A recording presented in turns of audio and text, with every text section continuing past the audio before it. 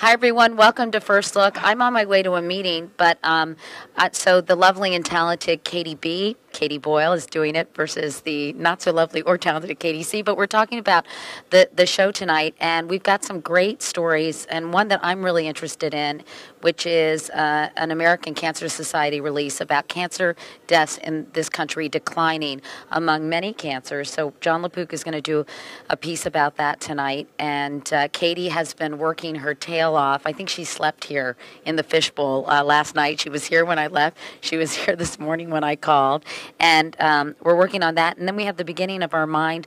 Uh, body series, mm-hmm. which would be really interesting. Sanjay Gupta. I can't wait to say, here's Sanjay Gupta, because I've never said that.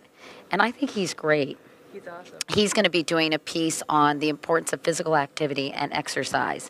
And um, since I'm doing all the talking and Katie's just nodding, I'm going to give the mic to her and she can tell us a little bit about the rest of the show tonight. But we hope you'll be watching. I have to go to a web meeting because I'm so high tech. And uh, we'll see you later on, hopefully on the CBS Evening News. Katie?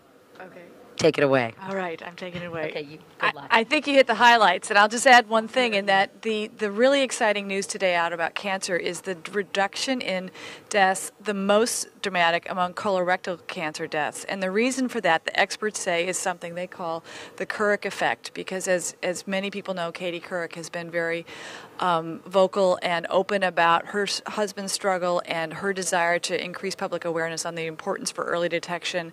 And uh, many of the doctors that we've talked to for the piece today say that it has had an impact, and that's that's really really exciting news. Um, the Sanjay Gupta story is really interesting because it's good news for all of us who are worried that we're going to lose our minds as we get older, and this is news that you can use because you can if you exercise physically and mentally, you can uh, reverse memory loss. Uh, we'll probably take a look at the Hill, uh, what's happening there. Uh, Lara Logan will have a report from Iraq on us uh, for us. Um, and that's pretty much the highlights. We'll keep a few things secret so you don't know it all.